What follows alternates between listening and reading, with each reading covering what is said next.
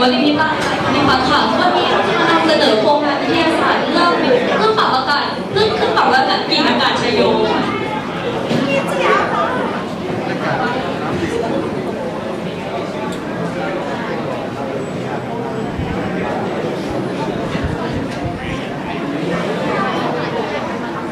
ก็ที่มาและความสำคัญของโครงงานนะคะ ในปัจจุบันในการผลิตเครื่องปรับกลิ่นอากาศมากมากมายต่างๆหลายแบบค่ะ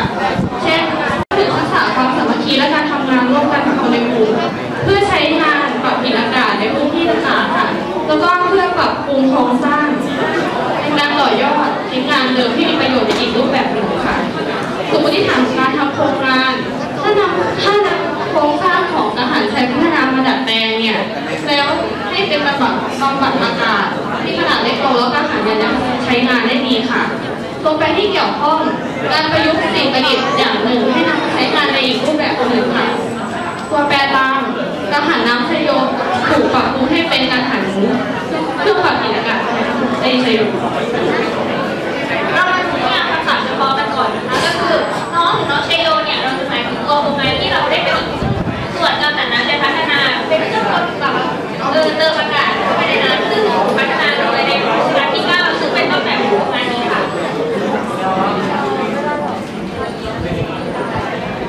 เรามาดูประโยชน์ที่คาดว่าจะได้รับนะคะ ก็คือโครงงานนี้ให้ประโยชน์ในแบบเป็นแสงเลย เราได้เกิดการมีความคิดสร้างสรรค์ทำให้มีประสบการณ์ร่วมกันแล้วก็สามารถนำเครื่องแบบมีอากาศนี้ไปใช้ในพัฒนาต่อได้ ขอบเขตในการศึกษาฟ้านะคะ ก็คือโครงสร้างเนี่ยเราใช้แผ่นพลาสติกมีน้ำหอม กินน้ำกลิ่นหอมแพร่กระจายไปใช้การผสมอาหารขวดเจ็ดคนเป็นแรงงานที่ใช้ในการผลิตเครื่องนี้ค่ะ ต่อไปเป็นเอกสารและ กี่ยวข้องนะคะ อย่างแรกเลยคือกังหันใช้พัฒนาค่ะ เป็นเครื่องเอ่อเครื่องบำบัดน้ำแบบทุ่นลอยตามผิวน้ำอะค่ะอ่าหุ่นช้างด้วย แล้วก็ แล้วก็หัวเชื้อน้ำหอมทำมาจากพวกวัตถุดิบธรรมชาติหรือวัตถุดิบที่สังเคราะห์ขึ้นมาโดยไม่ผ่านการผสมแอลกอฮอล์ค่ะ ส่วนน้ำหอมคืออย่างเดิมนั่นแหละการผสมแอลกอฮอล์กับน้ำมันให้เจือจางลงค่ะ ไม้แห้งก็คือดอกไม้ที่ใกล้บานนะคะ เราจะนำไปตากแห้ง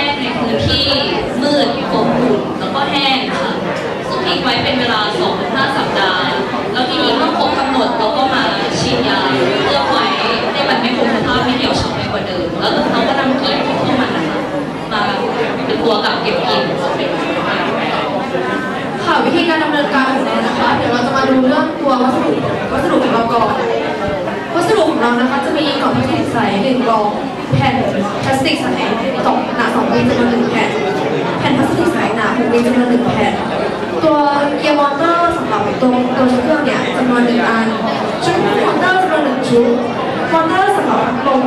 จำนวนหนึ่งอันค่ะเราก็จะมีพวกแผนควบคุมต่างๆที่เราจะนำไปอธิบายข้างล่างให้ฟังนะคะเราก็จะมีตัวดอกไม้แห้งกลิ่นน้ำหอม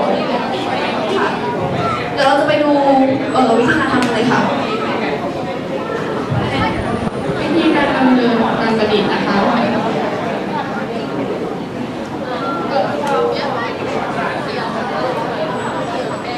ในตอนแรกเราจะออกแบบและวางแผนโครงสร้างของงานก่อนค่ะ โดยนำเอ่อเนี่ยเอาโครงสร้างที่อะไรต่างๆปิดเลยค่ะตอนแรกพวกหนูจะนำแผ่นพลาสติกใสหนา 2 มิลมาตัดเป็นสี่เหลี่ยมผืนผ้า ความยาว 2ถึง3นิ้วค่ะจะได้เป็นอย่างนี้มา ซึ่งเราจะตัดจำนวน9แผ่น6แผ่นเนี่ยเราจะนำมาเจาะรู23รูเพื่อที่จะให้น้องได้มีกลิ่นออกมาค่ะส่วนอีก3แผ่นเนี่ยมันจะเป็นตัวที่คาดระหว่างการอยู่ตรงนี้ค่ะอีกสามแผ่นจะอยู่ตรงนี้ค่ะหลังจากที่เราตัดเสร็จเราก็จะนำแผ่นที่ใส่หนาสองมิลที่เหลือเนี่ยมาทำเป็นมาตัดเป็นหกเหลี่ยมที่มีความยาวด้านสามนิ้ว เราก็นำมาประกอบกันเป็นอย่างนี้ค่ะ ด้านหนึ่งเราจะติดพ่อตัวแม่เหล็กไว้ แล้วก็มีบานพับ